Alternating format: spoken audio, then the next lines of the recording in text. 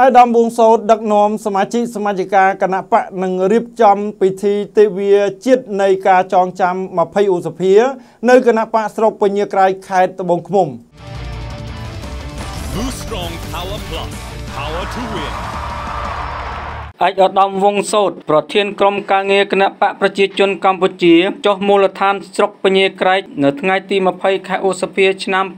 2023បានអញ្ជើញជាអធិបតីក្នុងពិធីទិវាជាតិនៃការចងចាំថ្ងៃ20ឧសភាកិច្ចប្រជុំឆ្ពោះទៅកាន់ការបោះឆ្នោតជ្រើសតាំងតំណាងរាស្ត្រនីតិកាលទី7ឆ្នាំ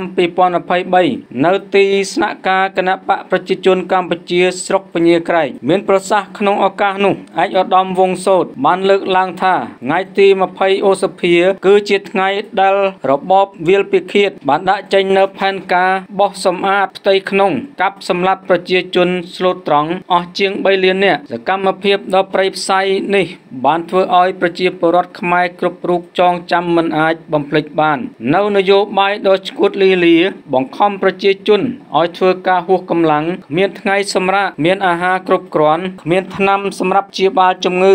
និងបំបិតសិទ្ធិសេរីភាពគ្រប់បែបយ៉ាង ហើយអ្វីដែលកាន់តែខ្លោចផ្សាគឺការកាប់សម្លាប់ដោយមិនកាត់ក្តីឲ្យតែសង្ស័យថាជាខ្មាំងប្រជាពលរដ្ឋដែលមកចូលរួមក្នុងពិធីនេះ បានរៀបរាប់ថា មានរបបដឹកនាំណាខូខើជាងរបបខ្មែរក្រហមនោះទេ ពួកគេបានបង្ខំប្រជាជនឲ្យធ្វើការហួសកម្លាំងកាត់បន្ថយអាហារកាប់សម្លាប់ប្រជាជនយ៉ាងប្រៃផ្សៃសកម្មភាពទាំងអស់នេះ ពួកគាត់មិនចង់ជួបនិងមិនចង់ឲ្យប្រទេសជាតិវិលទៅរកដានប្រវត្តិសាស្ត្រមួយនេះឡើយនៅក្នុងឱកាសនោះឯកឧត្តមវងសោតនិងក្រុមការងារគណៈបកប្រជាជនកម្ពុជាក៏បាននាំយកថវិកាមួយចំនួន ទៅប្រគល់ជូនសមាជិកសមាជិកាទាំងអស់ក្នុងស្រុកពញាក្រែកដើម្បីត្រៀមរៀបចំការចូលរួមបោះឆ្នោតជ្រើសតាំងតំណាងរាស្ត្រនេតកាលទី7ឆ្នាំ2023ផងដែរជាមួយនឹងការផ្ដល់ជូននេះឯកឧត្តមក៏បានរំលឹកផងដែរថាសូមបងប្អូនទាំងអស់ត្រូវទៅចូលរួមបោះឆ្នោតគ្រប់គ្រងគណៈបកប្រជាជនកម្ពុជាទាំងអស់គ្នាព្រោះថាមានតែគណៈបកប្រជាជនកម្ពុជា ដែលមានសម្ដេចតេជោជាប្រមុខមួយគត់ដែលនៅរួមសុខរួមទុក្ខជាមួយបងប្អូន ហើយដឹកនាំប្រទេសអភិវឌ្ឍលើគ្រប់វិស័យក្រោមដំបូលសន្តិភាពពេញលេញប្រជាជនរស់នៅមានក្តីសុខជីវភាពប្រសើរឡើងជាលំដាប់